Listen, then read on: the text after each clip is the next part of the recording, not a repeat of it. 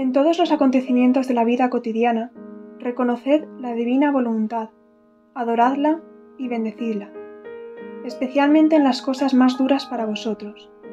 Elevad entonces más que nunca vuestra mente al Divino Padre y decidle, mi vida, como mi muerte, está en tus manos.